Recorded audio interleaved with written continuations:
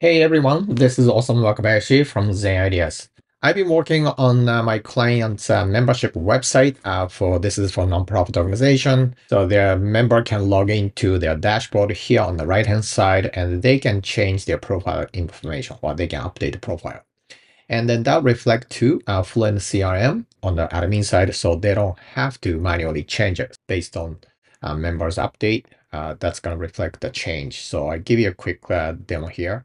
So for example, here organization, I'm going to change Google to uh, Apple Inc. Okay. And then uh, nonprofit charity, for example, and switch back to English. Uh, you know, I can just uh, put the senior order, you know, three. Um, this is a multi um, selection, and you know, here the food banking as well.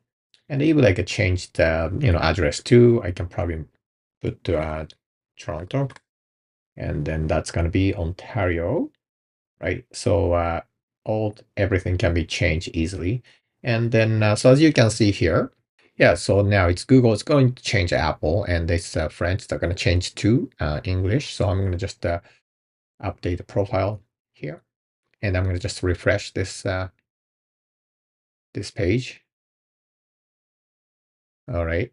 So now change to English, Apple. Okay, so Toronto, Ontario. So it's going to change that. So this is going to be a little bit advanced, but uh, you can put the tag based on the selection. This is called a dynamic uh, tag feature uh, with uh, Fluent CRM.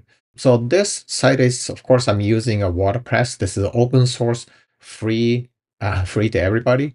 And I'm using a couple plugins, which is um, the main plugin is Fluent CRM and then uh, uh, it's called the Jet Engine. This is um, developed by Crocoblock team. You know, you can develop a membership site. So I'm using this plugin to uh, create uh, this kind of dashboard too. And let me show you how you can do this quickly. Uh, this is easy. And also I run it some problem. And then I'll show you how to fix that problem, the troubleshooting here, okay? Now, so you need, uh, it's called actually Fluent, Fluent Form. Um, this is a plugin. Again, I'm using actually a free version. Okay, so you don't have to pay for this. All right, so uh, let's just go back here. Now, so this is the Fluent Form uh, plugin. So you install that. So you can develop a bunch of forms.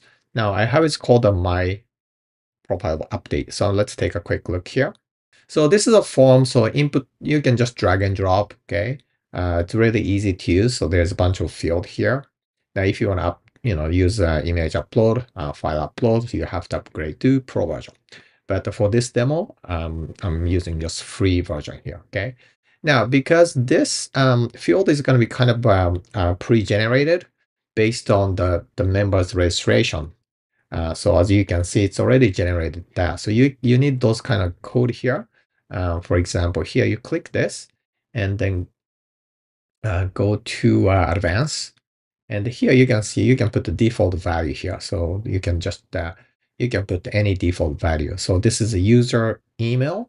So uh, in this case, I'm just picking this one user email. And if you click that, it generates uh, uh, this, um, this tag here, okay? So I'm gonna just delete this though. Oops.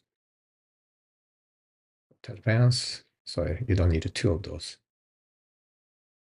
And then um, uh, so those field, it's uh, you can you can build a custom field uh, in addition to you know just um, uh, address and stuff. So these are all the custom field, and then uh, you can uh, yeah. Let me just show that to you. just go back here and go to settings and then custom contact field. Okay, so I built a lot of custom contact field, and when you do that, as an example type of organization here and then uh, here organization type and then it generates a slug here okay? So you can just uh, copy this slug and then back to uh, form editor. Yeah organization type here. So this uh, radio box right? And then go to advanced. So um, you just put uh, this in CRM dot. So that's a slug okay? So you do that uh, everything here. So it's kind of easy to do. And after you uh, develop all of that so go to settings here integrations, and then configure integrations. And then, uh, yeah, you can add the integrations. So uh, in my case, Fluent CRM. So this form and Fluent CRM integrate. So these plugins are developed by same developer. So it's, uh, it's very seamless. So um, take a quick look here. So you have to just map the field. Okay, so this field is, you know, you just pick that website URL again. So it just creates a code here. Okay, and then so you're gonna map it one by one. Yeah, it's good thing about is um, you can put the, you know, it's called dynamic tag section. So when, uh, as an example, so you, if member uh, pick the language section and if they picked English, um, so it's gonna create an English tag, okay? So uh, I'm doing a bunch of that. And then uh, the problem actually I run into is, um, so in order to integrate, so at least they have to have an email field, okay? So email field because everybody has unique email. No, so as you said, like if I change back to uh, Google and even like adding a new phone number, you know, 630,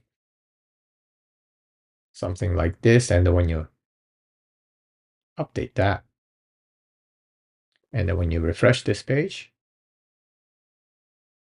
it changed to Google.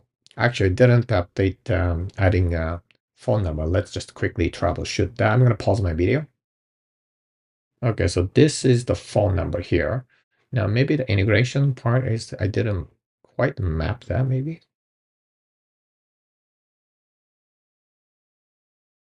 Yeah, because I don't think I have a phone number here. I mean, that's probably the reason. So let's just add to that, map this. Um,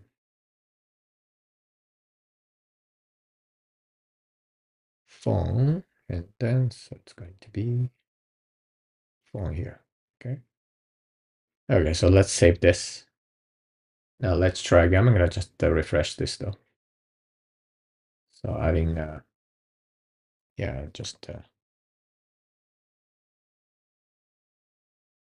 try again.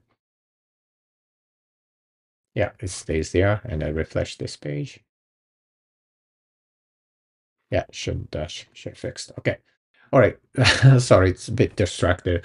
Uh, but the, the, the problem is not that. Uh, the problem what I have is if the member accidentally change their email address because I don't want them to change email address, right? So, but see what happened if I changed it. Uh, let's say John to uh, Don test, for example, and then update that. Now let's refresh this. Now it doesn't actually update it, right? So instead, so let's go to uh, all contact here. And I'm going to just say um, Don test here. So it actually creates a new contact. It's going to duplicate it and then add a new contact because I don't want this to happen again. So so what I want to do is um, I can display um, the user's email, but I like to disable it so that uh, they cannot edit their email section or field. And then there is actually documentation for that. Uh, their support team contacted me saying it's possible. So there is some uh, CSS ready class for Fluent CR, Fluent form. And then uh, what I sh should be using is uh, this ff read only. So this should work. So I'm going to just copy this and then uh, go back to form. Uh, what is that? Edit form here. And then, so this is the email section, go to advanced and then element class here. So I'm going to paste that um, class here and the save form. See, and then uh, see what happened. So you can see it. It's kind of grayed out and you cannot really change it. So this is exactly what I wanted. And now, so let's go back to this, back to John test uh, contact. Oh, by the way, if you have a MemberPress, I'm using MemberPress, you get um, this uh, one-time subscription list too on the on the CRM dashboard, which is nice. Uh, by the way, so you can change back to, let's say, nonprofit and back to uh, French and then provincial uh, you can change back to, uh, let's say meta, right? So uh, then you can just uh, hit update. Now let's refresh this page. All right, so you see change the meta and the French, um, yeah, French and the non-profit, right? So national, national, okay. So it works, okay.